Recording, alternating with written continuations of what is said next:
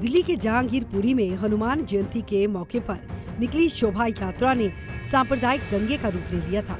देश में एक के बाद एक सांप्रदायिक दंगों की घटनाएँ होती जा रही हैं। करौली, फिर खरगोन के बाद अब जहांगीरपुरी हिंसा।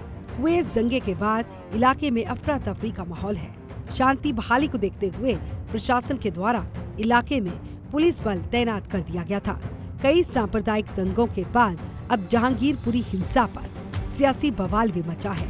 दिल्ली के जहांगीरपुरी हिंसा के बाद ये मुद्दा चर्चा में लगातार बना हुआ है कि कब चलने वाला है दिल्ली के जहांगीरपुरी में बुलडोजर। इस मामले में लगातार सियासत जारी है। आरोप प्रत्यारोप का दौर शुरू हो चुका है। अब तक इस हिंसा में पुलिस ने 25 लोगों को गिरफ़्तार किया है।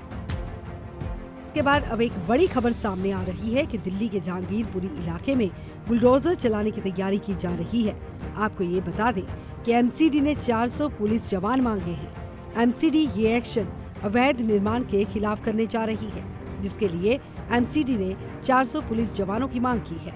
एमसीडी ने लेटर में लिखा है कि कानून व्यवस्था संभालने के लिए उन्हें 400 पुलिस जवानों की ज़रूरत है, जिसको जल्द से जल्द भेजा जाए। आपको बता दें कि जहांगीरपुरी वही इलाका है जहाँ पर हनुमान जयंती के दौरान हिंसा हुई थी और कई पुलिसकर्मी घायल हुए थे। इस हिंसा के बाद पुलिस ने अब तक 25 लोगों को धर दबोचा है। हिरासत में लिए गए इन लोगों से पुलिस पूछताछ कर रही है। जहांगीरपुरी हिंसा के बाद पुलिस एक्शन में आई और सबसे पहले 14 लोगों को गिरफ़्तार कर लिया गया। आपको बता दें कि इन 14 लोगों की गिरफ्तारी को लेकर भी सियासी बवाल मच चुका है। कई लीडर्स ने सवाल खड़े किए हैं। A I M I A I M I M के चीफ असदुद्दीन ओवैसी ने एक ट्वीट करते हुए लिखा कि 14 लोगों को पुलिस ने गिरफ़्तार किया है, सभी मुसलमान हैं। ये कैसी जाँच की जा रही है?